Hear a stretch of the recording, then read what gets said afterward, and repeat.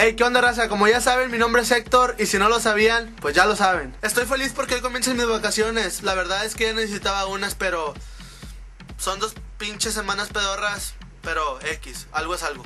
El tema de hoy es que muchos miles de mexicanos ya regresaron a la escuela después de sus vacaciones de verano, este, y empezaron un nivel superior o prepa o secundaria. Así que el tema es primer día de clases. Bueno, para empezar, todos sabemos que la noche antes del primer día de clases es imposible dormir.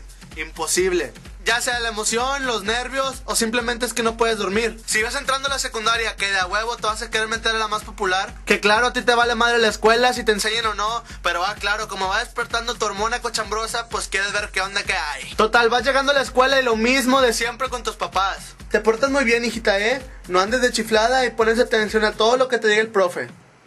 Llegas a la escuela y no conoces a nadie. ¿Qué chingados haces? Ahí vas con tu cara todo cohibido, pero bueno. Llegas al salón y volteas para todos lados de pedo buscando las más bonitas. Porque claro, te quieres hacer amigo de ellas. Ah, no, pero claro, te toca sentarte al lado del feo y del gordo que huele bien feo. Después ya llegan los maestros que te dan una muy buena, cordial bienvenida. Buenos días alumnos, yo soy la maestra San Juanita y les impartiré la materia de lectura y redacción. Buenos días, maestra. Pero nada más los primeros días son amables, porque después que ya los tengas hasta la chingada son algo así. A ver, jóvenes, el día de hoy vamos a ver las ecuaciones de segundo grado. A ver, silencio, por favor. Sí, este, las ecuaciones de segundo grado donde el exponente... Silencio, por favor. Donde el exponente... ¡Ah, muchacho! Y por ley, tu primer clase de inglés vas a hacer en una hoja todo lo que hiciste en tus vacaciones de verano en inglés. Pero bueno, pasas a tercero, sales, te gradúas y entras a la prepa. Pues cállate, ya sabes cómo está la cosa y todo el pedo. Dejas de ver a la mayoría de la secundaria o al contrario, entran casi la mayoría de la secundaria contigo. Las que estaban bien gordas y feas ya están bien buenas y bonitas, entre otras cosas. Igualmente te metes a la más nice porque eres bien fresa, güey. Igualmente nomás llegas pajareando a ver nomás que ves, buscando las chavas más buenas. Y obviamente busca hacerte amiga de las más bonitas de tu salón y de otros salones, claro. Traes el pelo planchado porque obviamente si tú eres de Reynosa fuiste un día antes a Verusia que te cortaron el pelo y te crees bien papi, güey. Sí tú.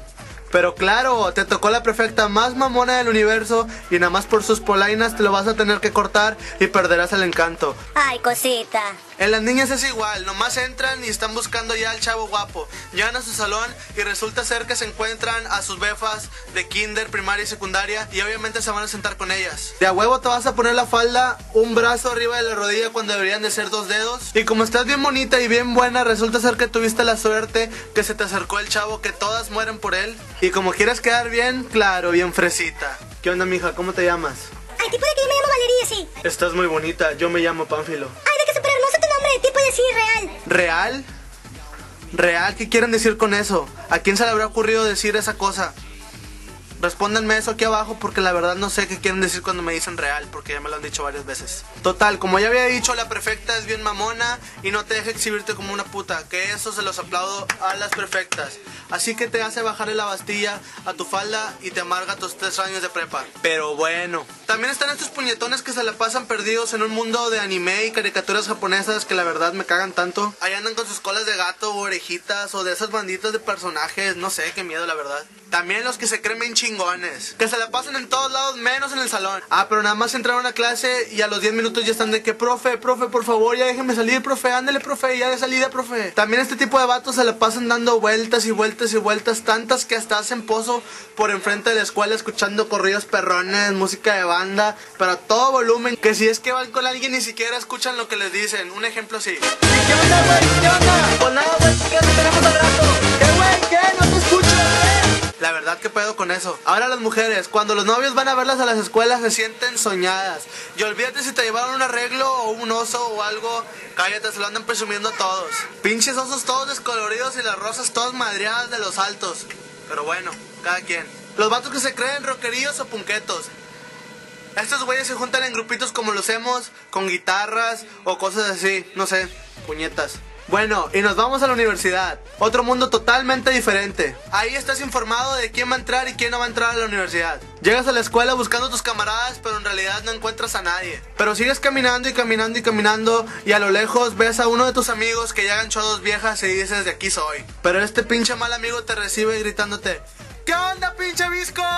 Las chavas se ríen de ti y manda toda la chingada. Mala suerte. Las mujeres llegan con sus amigas porque obvio, güey, tipo de que no van a llegar solas, güey. Y beborean a todo mundo de pies a cabeza. Así como también el chavo y la chava que se la pasan afuera en todos lados, menos en los salones. También los que se la pasan dando la vuelta nada más. Ya tú te das a tus maestros, solamente que hay uno que otro mamón. Si tienes un camionetón y chingo de dinero, obviamente vas a tener muchísimas amigas. Te metes al equipo de fútbol americano para ser popular, pero ups, nadie los pela. Las chavas están que se pelan por meterse al grupo de porristas para presumir que están bien buenas, pero les da pena. Empiezas a andar con el chavo la chava que para ti es el amor de tu vida y a los tres meses te salen con una mamada. Tratas de ganarte a tu coordinador de carrera para que te haga justificantes de un mes o te pase las materias. Y si eres mujer, te vas con un escote el día de tu examen de tu materia más difícil, porque obviamente, aunque pongas un gatito en tu examen, te va a poner 100 el profesor. Pero bueno, qué bonita la escuela. Conclusiones y consejos del buen Héctor. Raza, la educación es una de las etapas más bonitas de nuestra vida porque nos empezamos a desarrollar en sociedad, entre chavos y chavas, etc. Así que no hay que desaprovechar la oportunidad que tenemos de estudiar. La educación es el patrimonio familiar, es la mejor herencia que nos pueden dar nuestros padres, el estudio, el poder formarnos como profesionistas y obtener una carrera. Échale ganas para que el día de mañana seas un ingeniero, un abogado, un licenciado, un contador o lo que sea que quieras ser, reconocido por el desempeño que haces en tus actividades. No hagas que el esfuerzo que hacen nuestros padres por meternos a la mejor institución sea en vano. Al no entrar a clases, al reprobar. Si es así, mejor no estudies. Pero bueno, esos fueron mis consejos del día de hoy. Así que si te gustó este video, deja un comentario aquí abajo y si no, también. Si quieres, también suscríbete a mi canal para que seas el primero en ver mis videos recién saliditos del horno. Dale el clic botón aquí o acá. No sé dónde está, creo que está aquí. Dale clic. Bueno, cuídense mi gente bonita y que Diosito me los bendiga. Mi nombre es Héctor y recuerden que la práctica hace la perfección. Bye.